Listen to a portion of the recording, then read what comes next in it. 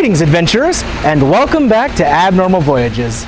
My name is David, and today we find ourselves in Jackson, Mississippi. We're here at the Mississippi State Fair. It's a little quiet right now, but soon this place is going to be bustling with happy fairgoers. Let's dive in and see what we can find. Tag along!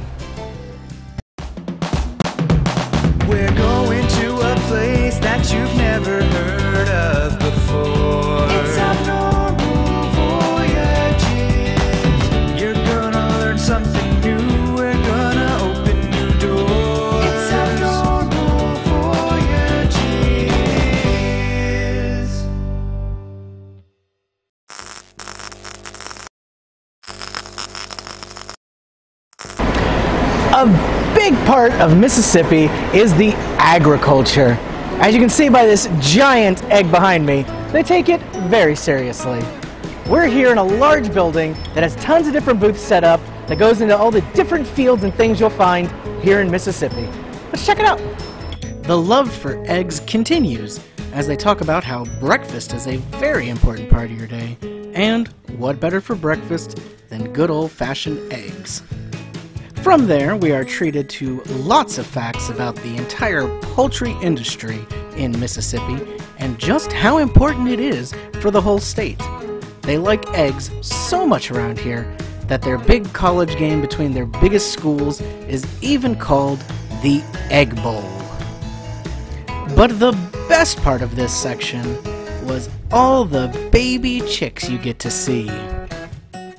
These little ones were scurrying back and forth, nibbling some food, playing games together, and then there were others that were a little tired from being out at the fair all day, so they were on the sides just trying to take a quick nap and get a snooze in. Of course, chickens aren't the only animal that are important to the farming and agriculture ways of Mississippi. This brings us to the cows. Beef and cowhide products are very important. And just to really be an eye popping booth, they had this giant inflatable cow standing right in the middle. Now, that's not as cute as if they brought real cows in, but I think it still gets the point across pretty well. Moving on from animals, we found a whole section filled with the different seeds of things that are grown here in Mississippi. Personally, I never knew that this wide variety of things grew in this one state, so there was certainly some educational aspects to this. After you got your fill learning what was made here, you got a chance to purchase some of the completely finished and ready to go products. There's an entire booth where they specialize in nothing but homegrown Mississippi products. Everything here was made in state. They've got everything here from sauces and snacks all the way up to barbecue seasonings and rubs. I gotta say, Delta Dust sounds good, but you can't beat piggy powder. Like any good state fair, the Mississippi one has an entire section dedicated to local artists who worked hard and sent in their best pieces of art. Let's check out the gallery. It looks like this year was a very comfy year for the arts competition, as all of the entries seem to be quilts and crocheted items that you can wear. There was tons of different colors and patterns, very interesting, very cool to get to see. Something I've noticed about all the state fairs we go to is that the arts competitions always tend to have a little bit of local flair that sets them apart from others. Here in Mississippi, that local flair was having preserved food as a category. Now, maybe this is more common in other states that I'm aware of, but I've yet to be at a state fair where this was something people could compete in. It was very interesting seeing these big jars all filled with different fruits and vegetables, perfectly preserved, and awarded prizes. But speaking of food, it was time to step back out into the main fairgrounds and find something tasty to eat for lunch. Like all state fairs, the options are almost limitless. There are tons of unique things to try. Something they're very proud of here is their famous biscuits.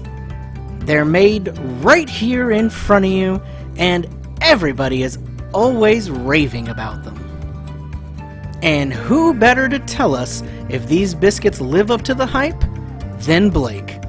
Let's head over for another edition of Food Stars. So the first item we're going to try today is what Mississippi State Fair is known for is their biscuits. It has Blackburn brand syrup inside of it. And surprisingly, what you're not going to see at most state fairs, these are completely free. You just walk up and get one. It's actually shocking to me. Yeah, it's just filled in the middle, got the whole um, schematics, nice little gusher almost, but a biscuit.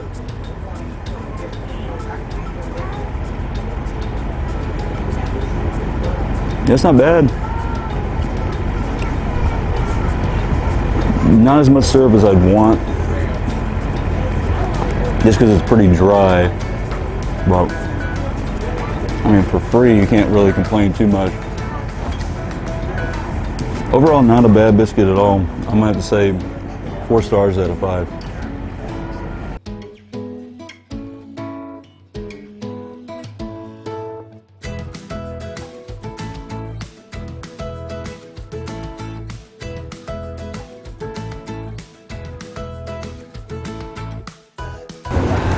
We are now trying one of the other hot commodities at the Mississippi State Fair, which is chicken on a stick. Sounds simplistic, but they say it tastes amazing. I mean, just the presentation of it alone looks pretty cool. And the frying, it's got a nice crisp, but not too like overbearing like a chicken tender or chicken strip. It's very light, almost like if it was a uh, catfish frying, but it almost looks like a potato. Unless that is a potato, I don't know. Let's see. Only one, one way to find out.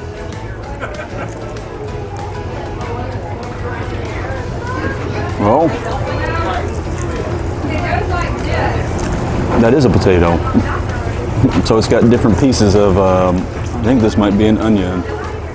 You know, I didn't go to culinary school, but it definitely looks like an onion. Two for two. That looks like chicken. So maybe I'll finally get to try chicken on a stick. Let's see.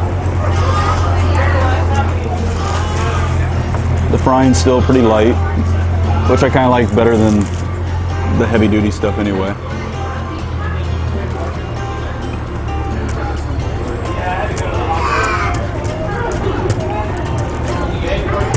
Mmm.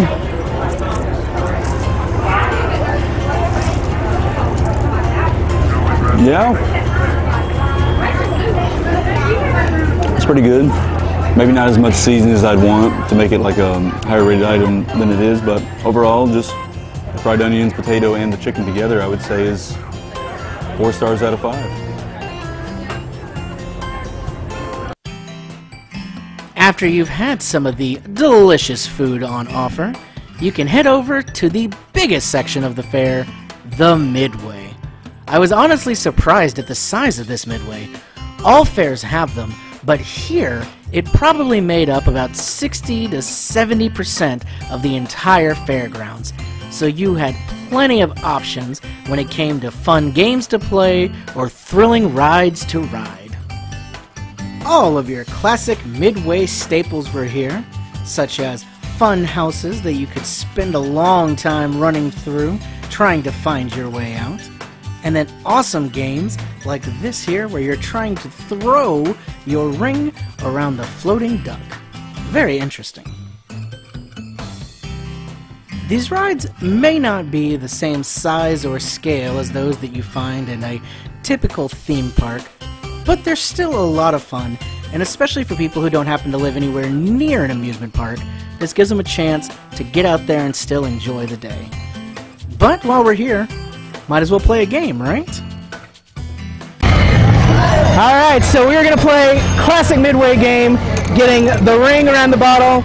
We had 50 chances here. I can almost guarantee I am not gonna get a single one, but we're here to have fun, so let's give it a shot.